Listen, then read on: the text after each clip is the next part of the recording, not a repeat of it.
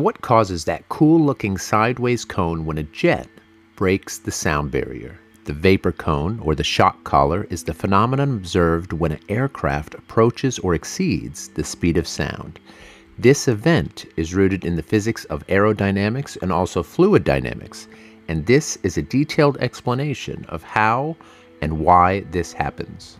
The phenomenon was widely recognized with the development of supersonic jets and the breaking of the sound barrier, which was first achieved by Chuck Yeager in 1947 flying the Bell X-1. The speed of sound in air, approximately 1,235 kilometers per hour or 767 miles per hour at sea level, is a critical threshold in aerodynamics.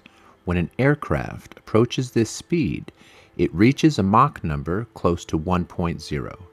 The Mach number is the ratio of the object's speed to the speed of sound in the surrounding medium. Mach 1 is the speed of sound, Mach 0.8 is 80% of the speed of sound, and Mach 1.2 is 20% faster than the speed of sound, etc. For perspective, traditional commercial jets typically cruise at speeds ranging from 725 to 965 kilometers per hour or 450 to 600 miles per hour. In terms of Mach number, these jets usually cruise at Mach 0.78 to Mach 0.85. As an aircraft accelerates towards the speed of sound, it encounters significant changes in airflow behavior. At subsonic speeds, pressure waves created by the aircraft can travel ahead of it, giving the surrounding air time to move out of the way. As the aircraft approaches transonic speeds, around 0.8 to 1.2 Mach, these pressure waves begin to compress and coalesce forming shock waves. The shock waves are thin regions where the air pressure, temperature, and density change almost instantaneously. As the aircraft reaches the speed of sound, these shock waves become more pronounced and can cause a rapid increase in pressure and temperature in front of the aircraft, followed by a rapid drop in pressure and temperature behind the shock wave. In addition to shock waves, expansion fans occur when air flows around curved surfaces of the aircraft, such as the wings and the fuselage. These expansion fans lead to a drop in pressure and temperature. The vapor cone forms due to the interaction of the shock waves and the expansion fans with the surrounding humid air.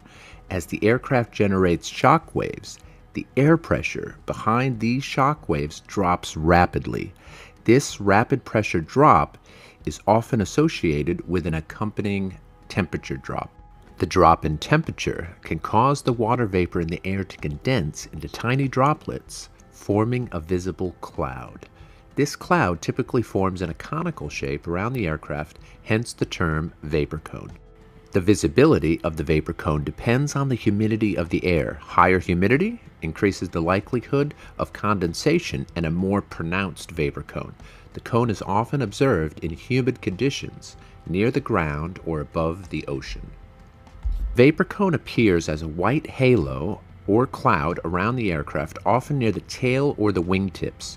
Its exact shape and size can vary depending on the aircraft's speed, altitude, and atmospheric conditions. The cone is most commonly seen when the aircraft is traveling at transonic speeds, but can also appear at supersonic speeds in the right conditions. When the aircraft fully surpasses the speed of sound, it creates a sonic boom, a loud and powerful shock heard on the ground.